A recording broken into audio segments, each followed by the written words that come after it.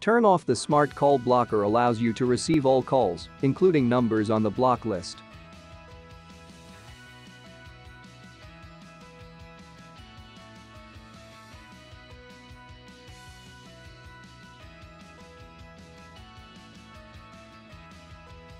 For more helpful tips, subscribe to our VTech support channel or check out our other videos to keep watching.